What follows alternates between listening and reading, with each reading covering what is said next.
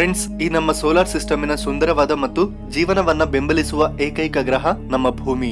ಕೇವಲ ನಮ್ಮ solar system ಅಲ್ಲಿ ಮಾತ್ರನೇ ಅಲ್ಲ, ಇದುವರೆಗೂ ನಾವು ಸ್ಟಡಿ ಮಾಡಿರುವಂತಹ ಈ ಅನಂತ ಬ್ರಹ್ಮಾಂಡದಲ್ಲಿ ಕೇವಲ ನಮ್ಮ ಭೂಮಿ ಮೇಲೆ ಮಾತ್ರನೇ ಜೀವ ಇದೆ.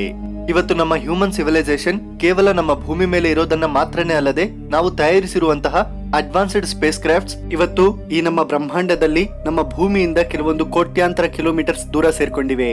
ನಮ್ಮ ಹತ್ರ ಇರೋ ಟೆಕ್ನಾಲಜಿಯಿಂದ ನಮ್ಮ ಭೂಮಿಯಿಂದ ಕೆಲವೊಂದು ಟ್ರಿಲಿಯನ್ಸ್ ಆಫ್ ಕಿಲೋಮೀಟರ್ಸ್ ದೂರದಲ್ಲಿರೋ ಆಬ್ಜೆಕ್ಟ್ಸ್ನ ಸಹ ಸ್ಟಡಿ ಮಾಡ್ತಿದ್ದೇವೆ. ಫ್ರೆಂಡ್ಸ್, ಈ ನಮ್ಮ ಭೂಮಿ ಮೇಲೆ ತುಂಬಾ ಅದೃಷ್ಟವಂತರು ಯಾರು ಅಂತ ನನಗೆ ಕೇಳಿದ್ರೆ, ನಾನು ಯಾರು ನಮ್ಮ ಭೂಮಿಯ ಆಚೆಯಿಂದ ನಮ್ಮ ಭೂಮಿಯನ್ನ ನೋಡ್ತಾರೋ ಅವರೇ ಅಂತ ಹೇಳ್ತೀನಿ. ಹೌದು, ಯಾಕಂದ್ರೆ ನಮ್ಮ ಭೂಮಿಯ ಆಚೆ ಹೋಗಿ ನಮ್ಮ ಭೂಮಿಯನ್ನ ನೋಡೋ ಅವಕಾಶ ಯಾರಿಗ್ ಸಿಗತ್ತೆ ನೀವೇ ಹೇಳಿ?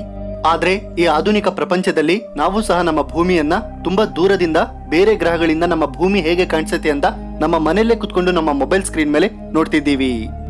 ಅಂತರಿಕ್ಷದಲ್ಲಿ ಪ್ರಯಾಣಿಸ್ತಿರುವ ನಮ್ಮ ಸ್ಪೇಸ್ ಕ್ರಾಫ್ಟ್ಗಳಲ್ಲಿ ನಮ್ಮ ವಿಜ್ಞಾನಿಗಳು ಕ್ಯಾಮ್ರಾಸ್ನ ಫಿಕ್ಸ್ ಮಾಡಿದ್ದಾರೆ. ಅದರ ಸಹಾಯದಿಂದ ಇವತ್ತು ನಾವು ಕೆಲವೊಂದು ಕೋಟ್ಯಾಂತರ ಕಿಲೋಮೀಟರ್ಸ್ ದೂರದಿಂದ ನಮ್ಮ ಭೂಮಿಯನ್ನ ನೋಡ್ತಿದ್ದೇವೆ. ಆದ್ರೆ ಫ್ರೆಂಡ್ಸ್, ಇವತ್ತಿನ ವಿಡಿಯೋದಲ್ಲಿ ನಾವು ನಮ್ಮ ಭೂಮಿ ಬೇರೆ ಗ್ರಹಗಳಿಂದ ಹೇಗೆ ಕಾಣಿಸುತ್ತೆ ಅಂತ ನೋಡೋಣ.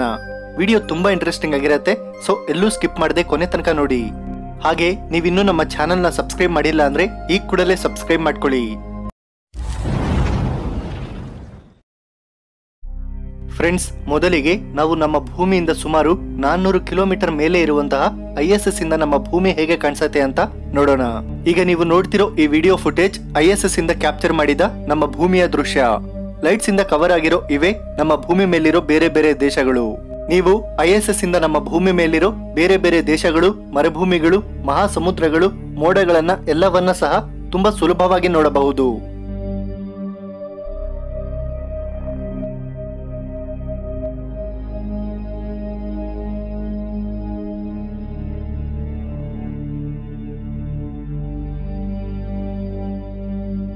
ಈಗ ನಮ್ಮ ಮುಂದಿನ ಡೆಸ್ಟಿನೇಷನ್ ನಮ್ಮ ಭೂಮಿಯ ನ್ಯಾಚುರಲ್ ಸ್ಯಾಟಲೈಟ್ ಆದ ಚಂದ್ರನ ಮೇಲೆ. ನಮ್ಮ ಭೂಮಿಯಿಂದ ಚಂದ್ರನನ್ನ ನೋಡಿದಾಗ ಚಂದ್ರ ನಮ್ಗೆ ತುಂಬಾ ಹತ್ತಿರ ಇದ್ದಂಗೆ ಕಾಣಿಸ್ತಾನೆ. ಆದ್ರೆ ಚಂದ್ರ ನಮ್ಮ ಭೂಮಿಗೆ ನಾವು ಅನ್ಕೊಂಡಿರೋ ಅಷ್ಟು ಹತ್ರ ಏನೂ ಇಲ್ಲ. ಚಂದ್ರ ನಮ್ಮ ಭೂಮಿಗೆ ಸುಮಾರು ಮೂರು ಲಕ್ಷ ಎಂಬತ್ನಾಲ್ಕು ಸಾವಿರದ ನಾನ್ನೂರು ಕಿಲೋಮೀಟರ್ ದೂರದಲ್ಲಿದ್ದಾನೆ. ಚಂದ್ರನ ಮೇಲಿಂದ ನಮ್ಮ ಭೂಮಿಯ ತುಂಬಾ ಇಮೇಜಸ್ನ ಕ್ಯಾಪ್ಚರ್ ಮಾಡಿದ್ದಾರೆ. ಆದ್ರೆ ನಮ್ಮ ಭೂಮಿಯ ತುಂಬಾ ನೀಟ್ ಮತ್ತು ಕ್ಲೀನ್ ಇಮೇಜ್ನ ಸಾವಿರದ ಒಂಬೈನೂರ ಎಪ್ಪತ್ತೆರಡರಲ್ಲಿ ಅಪೋಲೋ ಸೆವೆಂಟೀನ್ ಟೀಮ್ ಕ್ಯಾಪ್ಚರ್ ಮಾಡಿತು. ಆಗ ನಮ್ಮ ವಿಜ್ಞಾನಿಗಳು ಈ ಇಮೇಜಿನ ಹೆಸರು ಬ್ಲೂ ಮಾರ್ಬಲ್ ಅಂತ ಕೊಟ್ರು.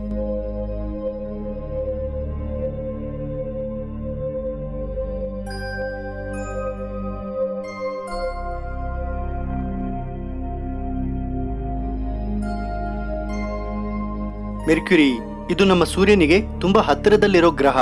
ಮೆರ್ಕ್ಯುರಿ ನಮ್ಮ ಭೂಮಿಯಿಂದ ಸುಮಾರು ಎಪ್ಪತ್ತೇಳು ಮಿಲಿಯನ್ ಕಿಲೋಮೀಟರ್ಸ್ ದೂರದಲ್ಲಿದೆ. ಸೊ ಮೆರ್ಕ್ಯುರಿ ಗ್ರಹದಿಂದ ನಮ್ಮ ಭೂಮಿಯನ್ನ ನೋಡಿದ್ರೆ ನಮ್ಮ ಭೂಮಿ ಹೀಗೆ ಕಾಣಿಸತ್ತೆ. ಅಲ್ಲಿಂದ ತುಂಬಾ ಬ್ರೈಟ್ ಆಗಿ ಕಾಣಿಸತ್ತೆ ನಮ್ಮ ಭೂಮಿ.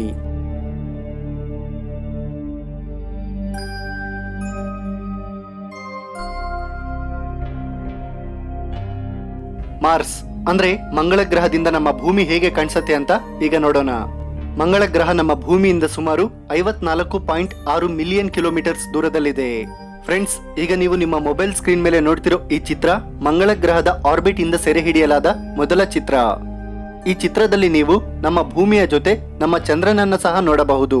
ಇದರ ನಂತರ ಮೊಟ್ಟ ಮೊದಲ ಸಲ ಎರಡ್ ಸಾವಿರದ ಏಳರಲ್ಲಿ ಮಂಗಳ ಗ್ರಹದಿಂದ ನಮ್ಮ ಭೂಮಿಯ ಹೈ ರೆಸಲ್ಯೂಷನ್ ಇಮೇಜ್ನ ಕ್ಯಾಪ್ಚರ್ ಮಾಡಲಾಯಿತು. ಫ್ರೆಂಡ್ಸ್, ಈಗ ನೀವು ನೋಡ್ತಿರೋ ಈ ಇಮೇಜ್ ಮಂಗಳ ಗ್ರಹದ ಸರ್ಫೇಸ್ ಇಂದ ಸೆರೆ ಹಿಡಿಯಲಾದ ನಮ್ಮ ಭೂಮಿಯ ಚಿತ್ರ. ಇದು ಅನ್ಯ ಗ್ರಹದಿಂದ ಕ್ಯಾಪ್ಚರ್ ಮಾಡಲಾದ ನಮ್ಮ ಭೂಮಿಯ ಮೊದಲ ಚಿತ್ರ. ನಿಮಗೆ ಸ್ಕ್ರೀನ್ ಮೇಲೆ ಒಂದು ಚಿಕ್ಕ ಡಾಟ್ ಕಾಣಿಸ್ತಿದೆಯಲ್ಲ, ಅದೇ ನಮ್ಮ ಭೂಮಿ. ಆ ಚಿಕ್ಕ ಡಾಟ್ ಅಲ್ಲೇ ಎಂಟು ಶತಕೋಟಿ ಜನರು ವಾಸಿಸುತ್ತಿದ್ದಾರೆ.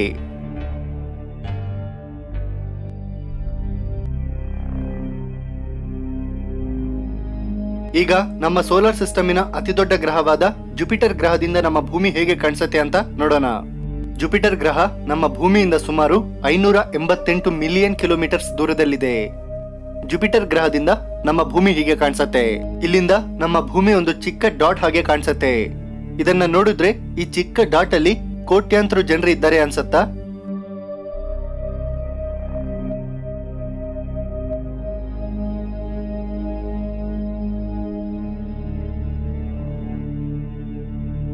ಶನಿ ಗ್ರಹ ಅಂದ್ರೆ ಸ್ಯಾಟ್ರನ್. ಶನಿ ಗ್ರಹ ನಮ್ಮ ಭೂಮಿಯಿಂದ one point two billion kilometres ದೂರದಲ್ಲಿದೆ. ಶನಿ ಗ್ರಹದಿಂದ ನಮ್ಮ ಭೂಮಿ ನೋಡೋದಿಕ್ಕೆ ಹೀಗೆ ಕಾಣಿಸುತ್ತೆ.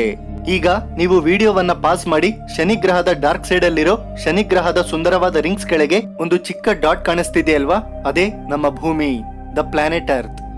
ಈ ಚಿತ್ರವನ್ನ ಒಂದು ಪಾಯಿಂಟ್ ಎರಡು ಶತಕೋಟಿ ಕಿಲೋಮೀಟರ್ಸ್ ದೂರದಿಂದ ಕ್ಯಾಪ್ಚರ್ ಮಾಡಲಾಯಿತು. ಇದನ್ನ ಎರಡ್ ಸಾವಿರದ ನಾಲ್ಕರಲ್ಲಿ ಕೆಸನಿ ಸ್ಪೇಸ್ ಕ್ರಾಫ್ಟ್ ಕ್ಯಾಪ್ಚರ್ ಮಾಡ್ತು.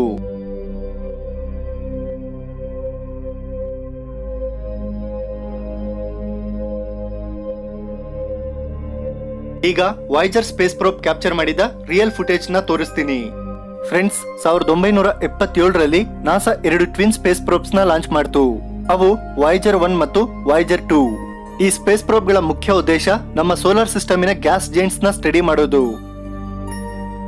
ಮಾನವ ನಿರ್ಮಿತ ವಸ್ತು ಅಂತರಿಕ್ಷದಲ್ಲಿ ನಮ್ಮ ಭೂಮಿಯಿಂದ ತುಂಬಾ ದೂರದಲ್ಲಿವೆ ಅಂದ್ರೆ ಅವು ವಾಯ್ಜರ್ ಸ್ಪೇಸ್ ಕ್ರಾಫ್ಟ್ಸ್ ಇವು ನಮ್ಮ ಭೂಮಿಯಿಂದ ಕೆಲವೊಂದು ಕೋಟ್ಯಾಂತರ ಕಿಲೋಮೀಟರ್ಸ್ ದೂರದಲ್ಲಿವೆ. ಈ ವಾಯ್ಜರ್ ಸ್ಪೇಸ್ ಪ್ರೋಬ್ಸ್ ನಮ್ಮ ಸೋಲಾರ್ ಸಿಸ್ಟಮ್ನ ಬಿಟ್ಟು ಇಂಟರ್ಸ್ಟೆಲ್ಲರ್ ಮೀಡಿಯಂಗೆ ಎಂಟರ್ ಆಗಿವೆ. ಫೆಬ್ರವರಿ ಹದಿನಾಲ್ಕು, ಸಾವಿರದ ಒಂಬೈನೂರ ತೊಂಬತ್ತರಲ್ಲಿ ವಾಯ್ಜರ್ ಒನ್ ಸ್ಪೇಸ್ ಪ್ರೋಬ್ ನಮ್ಮ ಭೂಮಿಯಿಂದ ಆರು ಶತಕೋಟಿ kilometres ದೂರದಲ್ಲಿದ್ದಾಗ Carl Sagan Voyager one space probe ಅಲ್ಲಿದ್ದ ಕ್ಯಾಮ್ರಾಸ್ನ ಆನ್ ಮಾಡಿ ನಮ್ಮ ಭೂಮಿಯ ಕಡೆಗೆ ಟರ್ನ್ ಮಾಡಿದ್ರು. ಹಾಗೆ ಈ ವಾಯ್ಜರ್ ಒನ್ ಆರು ಶತಕೋಟಿ ಕಿಲೋಮೀಟರ್ಸ್ ದೂರದಿಂದ ನಮ್ಮ ಭೂಮಿಯ ಇಮೇಜ್ನ ಕ್ಯಾಪ್ಚರ್ ಮಾಡ್ತು. ಸೂರ್ಯನ ಒಂದು ಕಿರಣದಲ್ಲಿ ಚಿಕ್ಕ ಧೂಲಿನ ಕಣ ಹಾಗೆ ಕಾಣಿಸ್ತಿರೋದು ನಮ್ಮ ಭೂಮಿ. ಆ ಚಿಕ್ಕ ಧೂಳಿನ ಕಣದಲ್ಲೇ ನಮ್ಮ ಮನೆ, ನಮ್ಮ ಮಠ, ನಾನು, ನೀವು, ನಮ್ಮ ಪೂರ್ವಿಕರು ಎಲ್ಲರೂ ಸಹ ಆ ಚಿಕ್ಕ ಧೂಳಿನ ಕಣದಲ್ಲೇ ಇದ್ರು, ಈಗಲೂ ಸಹ ಇದ್ದಾರೆ. ಫ್ರೆಂಡ್ಸ್, ಈ ಇಮೇಜ್ನ ನೋಡಿದ ನಂತರ ಈ ಅನಂತ ಕೊನೆಯಿಲ್ಲದ ಬ್ರಹ್ಮಾಂಡದಲ್ಲಿ ನಮ್ಮ ಭೂಮಿ ಎಷ್ಟು ಆ ಚಿಕ್ಕ ಭೂಮಿಯಲ್ಲಿರುವ ನಾವೆಷ್ಟು ಅಂತ ಅನಿಸುತ್ತೆ.